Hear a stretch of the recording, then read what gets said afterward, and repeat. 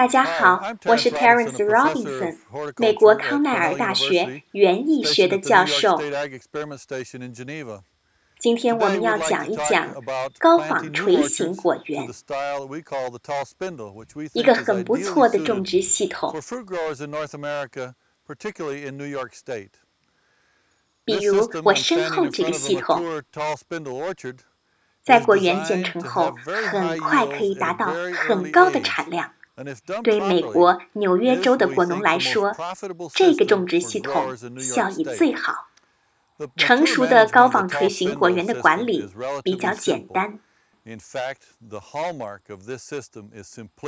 很容易传授给果农，同时能降低修剪和采收的管理成本。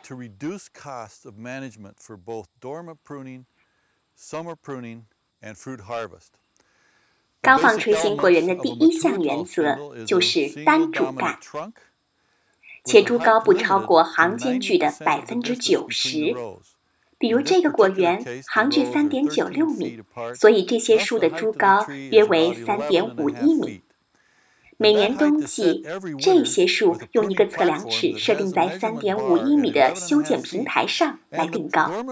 在休眠季节，修剪工人将果树修剪到三点五一米下的第一个侧枝的高度。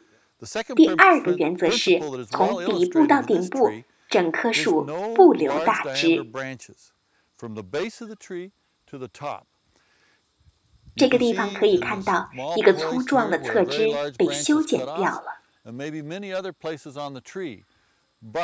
只有小于两厘米的侧枝才被保留在主干上。这个侧枝大概就是这个尺寸，而且挂果很多。不过大多数的侧枝比这个侧枝还要细，并且跟这个侧枝一样会挂果七到十个。整棵树的树形为细长的高仿锤形。每棵树我们需要至少十五个侧枝。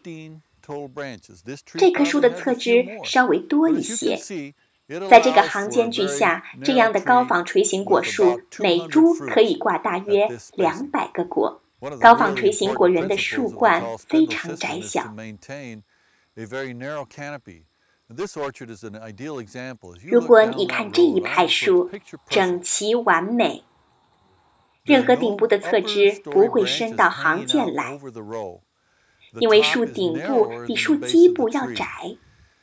这样的树形光照充足，在南北走向的果园中，上午太阳直射果树的一侧，下午直射果树的另一侧。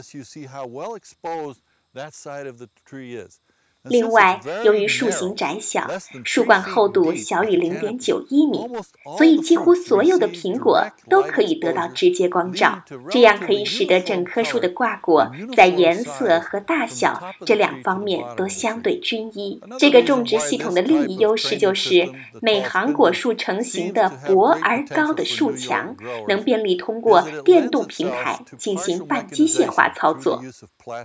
果农可以站在一点八三。三米高的电动平台上来完成果树的修剪。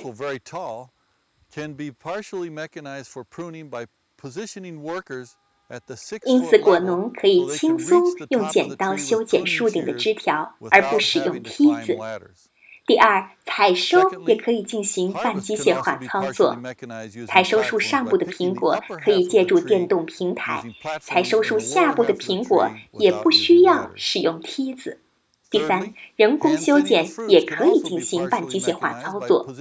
在生长季早期需要进一步进行手工疏花疏果的时候，果农可以站在以一定速度向前行进的电动平台上进行操作。第四，为促进苹果着色而进行的夏季修剪也可以进行半机械化操作。所有这些优点可以减少人工，提高利润。这也是我们认为这个系统是未来苹果果园发展方向的另一个原因。最后一点，未来机械化的发展很可能为这样的果园系统带来更多的优势。因此，对果农来说，很重要的是，现在他们需要开始着手建设这样的果园，以便他们今后可以充分享受这些未来的机械化所带来的优势。